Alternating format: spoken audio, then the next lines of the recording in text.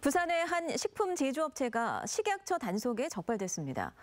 유통기한 위반과 원재료 허위 표시 등 식품 제조업체의 비위생 실태가 총망라돼 있었습니다. 이 업체가 물어야 할 과태료만 2억 원 가까울 것으로 예상됩니다.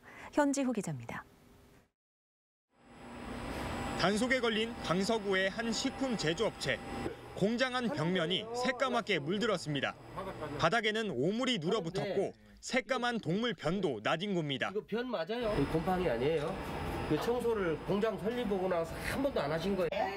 그러면은 언제 하셨어요?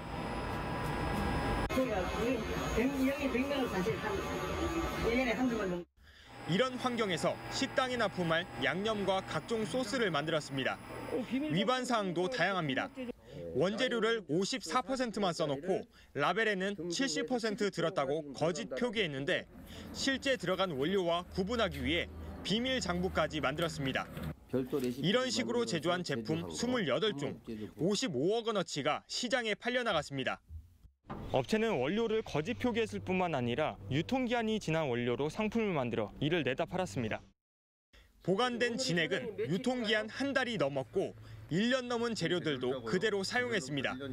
이 밖에 공업용 향료를 불법 제조해 파는 등 모두 7가지의 현행법 위반 사실이 적발됐습니다. 원료를 거짓으로 표기하는 부분들은 이제 표시 광고법 위반이 되고요.